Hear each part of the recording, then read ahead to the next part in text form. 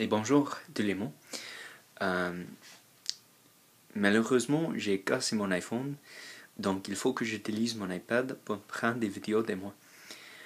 Euh, j'ai décidé de faire une autre vidéo en français, mais je ne suis pas certain de quoi je vais parler. Donc, euh, je vais vous expliquer un peu de comment j'ai appris le français et ce que je voudrais faire avec la langue française dans ma vie. Alors, et comme j'ai déjà dit, j'ai commencé l'apprentissage, j'ai commencé l'apprentissage de français quand j'avais 11 ans. Et ma première prof de français s'appelait Madame Shaw. Et Madame Shaw était française et son accent était très fort, donc je n'ai rien compris.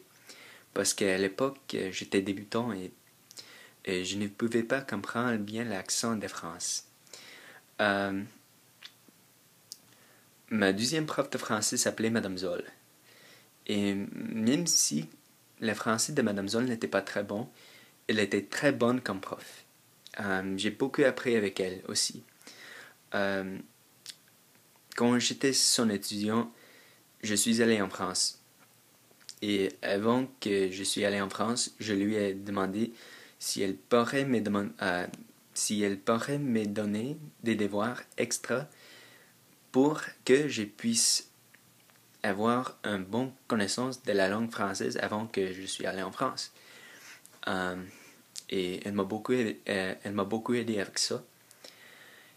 Et euh, après que j'ai reçu mon diplôme du lycée, de l'école secondaire, quelque chose comme ça,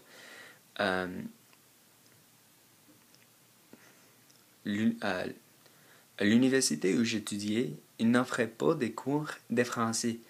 Donc, j'ai décidé d'aller au Québec pour apprendre, le français après ça. Euh, ma première prof québécoise de de français s'appelait Marie-Claude. Et euh, c'était en 2010, quand j'étais à Lévis Québec pendant euh, deux semaines. puis après, j'ai décidé de retourner au Québec pour, pour continuer avec mes études en français. Et ma, ma quatrième prof de français s'appelait Julie, et Julie était québécoise aussi. Euh, c'était en 2011, et j'étais à Québec pendant trois semaines. Euh, après ça, j'avais un prof qui était très mauvais. elle était très mal comme prof. Euh, elle s'appelait Madame Michel. Madame Michel. Madame Michel. Et euh, tous mes amis francophones la connaissent parce que son accent en français était très bizarre, était très paresseux. C'est comme euh, juste un anglophone qui parle en français et c'est tout. c'est comme je vais vous donner un exemple. Euh, bonjour, la classe. Je m'appelle Madame Mitchell et je serai votre prof de français pour ce semestre ici.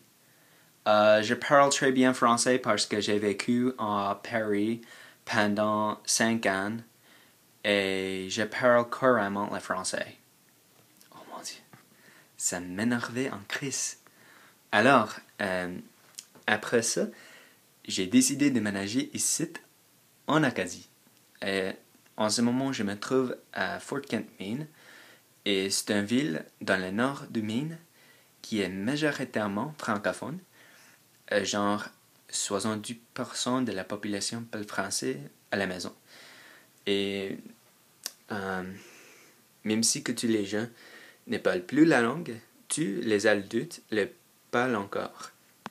Donc, euh, je parle en français très souvent avec euh, les profs de l'université, euh, les adultes du communauté et beaucoup d'autres gens.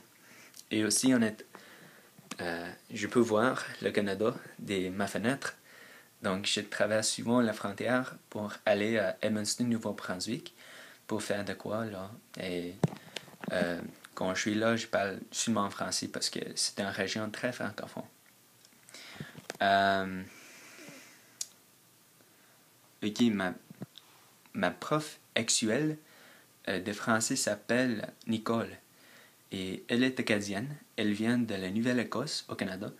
Et son français est très bon, mais parce que c'est sa langue maternelle. Mais euh, elle a un accent très acadien, je trouve. Euh, les façons dont euh, les façons dans laquelle les façons dans laquelle il, elle fait les airs, elle prononce les airs en français est très acadien. C'est comme, c'est pas le, le français, c'est le français. Et c'est bizarre. Alors, euh, euh, aussi, ce que je voudrais faire avec la langue française dans ma vie.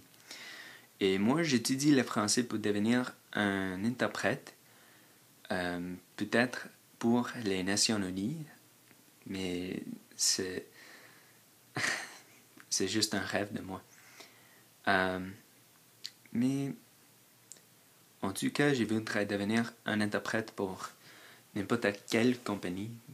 Euh, peut-être je vais travailler pour une ambassade au Canada, peut-être en France, peut-être, je sais pas.